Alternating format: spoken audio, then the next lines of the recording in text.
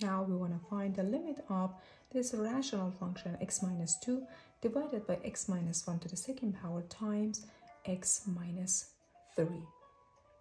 If I basically plug in x equals to 1 here, you have 1 minus 2 divided by 1 minus 1 to the second power and 1 minus 3.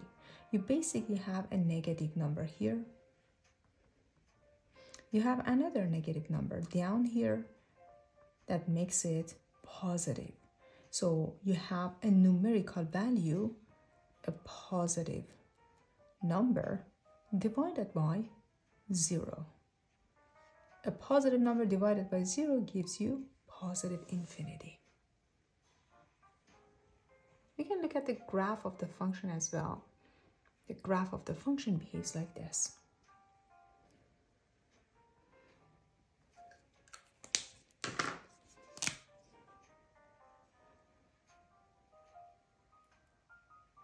One piece of the graph and note that you have 1 and 3 as vertical asymptote.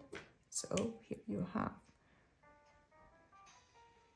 your x equals to 1 as your first vertical asymptote, the second piece of the graph, and then another vertical asymptote, which is x equals to 3, which is going to be down here. And the rest of the graph behaves like this. So as x goes to 1,